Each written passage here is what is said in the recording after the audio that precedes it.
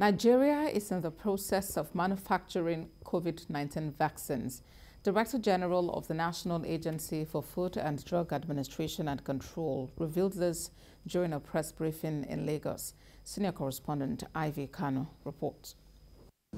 Coming from a university background in the United States, the Director General was not ready for what she would face on assumption of office.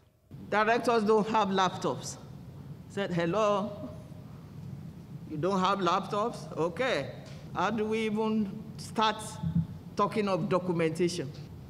About 70 to 80% of our equipment were not working. Undeterred, she went to work. We started quality management system. We got trained for 18 months.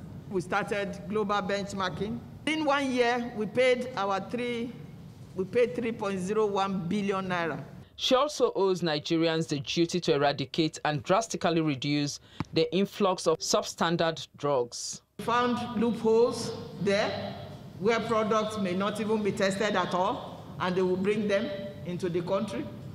So we went in 2019 and we declared a riot act in India and China that you want to trade with us, you bring something bad, you will be in trouble.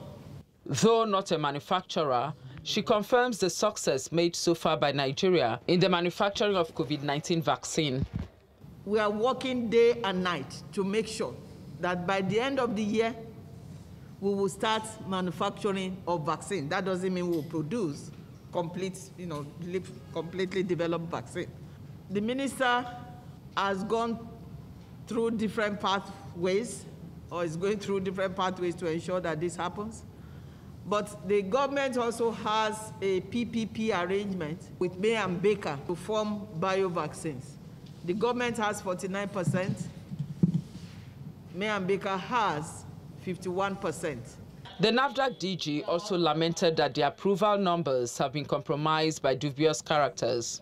We have to sensitize the public. You have to buy your product from where you have the best uh, confidence. If it is too cheap to be true, very likely it is not true. Media houses were also cautioned on the use of unauthorized herbal adverts in their organizations. Ivy Kano, TVC News, Lagos.